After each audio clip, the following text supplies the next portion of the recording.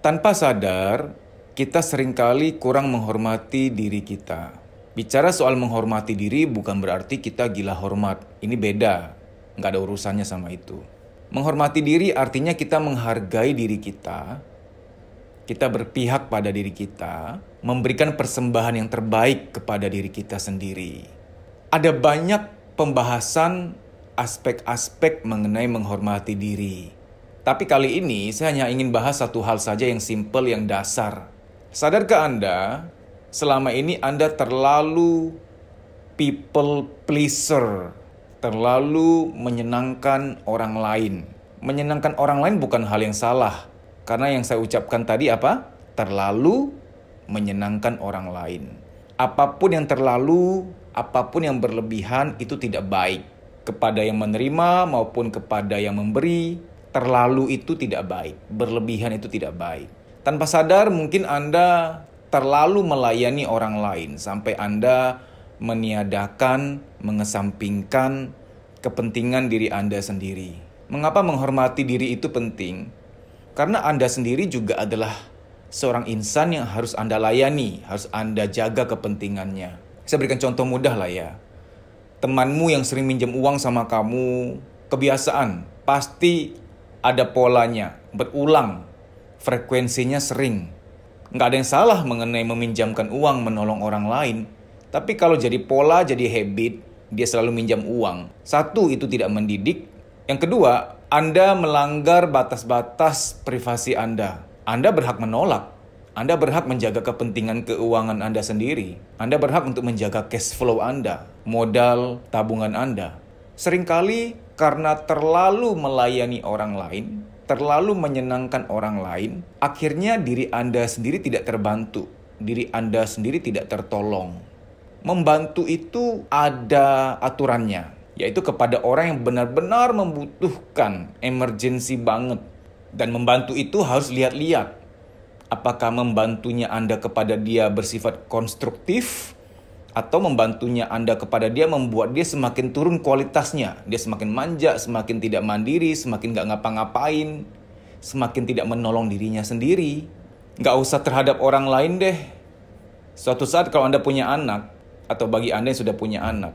Sangat nggak boleh kalau Anda selalu memenuhi semua permintaan anakmu. Oh, bahaya sekali. Sepertinya itu kasih sayang, tapi itu racun. Ada kalanya Anda harus berkata, tidak, jangan nak, nggak boleh. Nanti dulu, ya kapan-kapan nak, nggak bisa sekarang. Oh itu harus, harus. Supaya anakmu tidak lembek, dia belajar kemandirian, belajar keikhlasan, belajar ketegasan, belajar kedewasaan.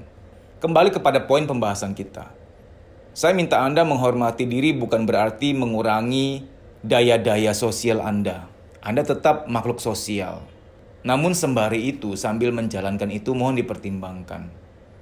Anda kan juga manusia yang harus Anda sayangi, yang harus Anda pertimbangkan untuk dijagai kebutuhan-kebutuhan kepentingan-kepentingannya. Tidak salah dalam berkorban, tapi ketika berkorban demi orang lain, Anda lama kelamaan semakin habis. Seperti lilin ya, lilin itu dia menerangi sekitarnya di kala gelap, tapi dia sendiri semakin habis. Anda ketika menolong orang lain secara keuangan, hormati hak-hak keuangan Anda sendiri untuk tetap terjaga, punya rasa aman dalam keuangan, Anda juga punya kebutuhan dan rencana-rencana keuangan di depannya. Hormati itu juga. Biar sama-sama tertolong. Bisa menolong orang lain tapi Anda juga tertolong waktu. Anda boleh mempersembahkan waktu, dengerin orang curhat, menyediakan diri untuk mendampingi, persembahkan waktu untuk orang lain. Namun waktu untuk diri Anda sendiri cukup ada nggak?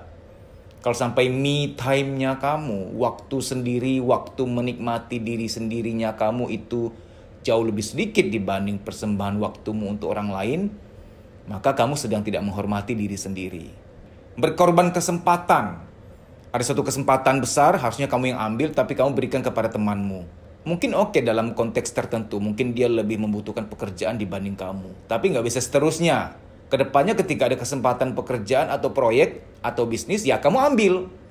Kenapa kamu harus ambil? Kamu orang baik. Orang baik sepertimu harus tetap punya daya keuangan, peluang yang kamu ambil, kamu peroleh, supaya kamu lebih mampu Kalau kamu tujuannya mau nolong orang, ya sudah, kamu sendiri harus mampu dulu. Bertarget untuk memampukan diri, menghebatkan diri, mencukupkan diri lebih luar biasa, itu juga bagian ke depannya biar kamu lebih langgeng nolong orang lain. Ketegasan itu penting. Menyayangi diri adalah ketika Anda mengembalikan hak-hak diri Anda sendiri. Betul dari rezeki yang kita dapatkan, nggak seutuhnya milik kita ada rezeki orang lain yang dititipkan kepada kita. Maka kita harus bersedekah, harus memberikan bantuan pada orang lain. Tapi ingat, hanya sekian persen dari itu, bukan seluruhnya. Anda tetap harus menabung, Anda tetap harus membeli kebutuhan-kebutuhan, Anda harus investasi, harus diputarkan sebagian untuk pekerjaan, untuk dagang, untuk bisnis. Itu jangan diotak-atik dong. Hidup harus seimbang. Membahagiakan orang lain juga membahagiakan diri sendiri. Dan membahagiakan diri masa depanmu. Waktumu yang 24 jam.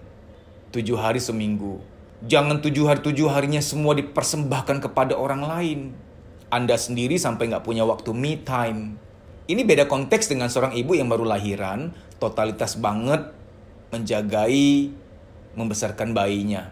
Itu memang bisa 24 jam, bisa nggak tidur. Bisa yang capek banget, fisik maupun batin itu pun para suami harus mengerti, istrimu harus kamu layani. Sesekali kamu lihat bayimu, kamu yang jagain, kamu yang urus. Nggak bisa loh 100% serahkan ke istri. Kasihan loh, istri itu manusia biasa yang bisa bosen, bisa jenuh, bisa capek banget, capek fisik, capek batin. Nggak bisa kamu lepas gitu doang mas, nggak bisa.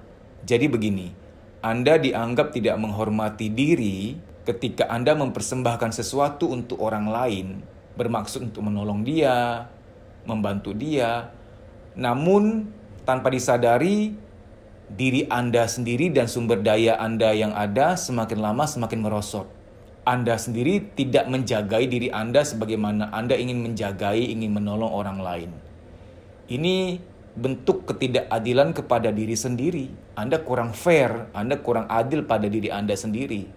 Dia kan manusia. Orang yang Anda akan tolong ini kan manusia. Lalu Anda manusia bukan? Ya, Anda juga manusia. Manusia kan diri Anda. Intinya adalah hidup harus seimbang. Ada kalanya menolong, ada kalanya menjagai diri sendiri.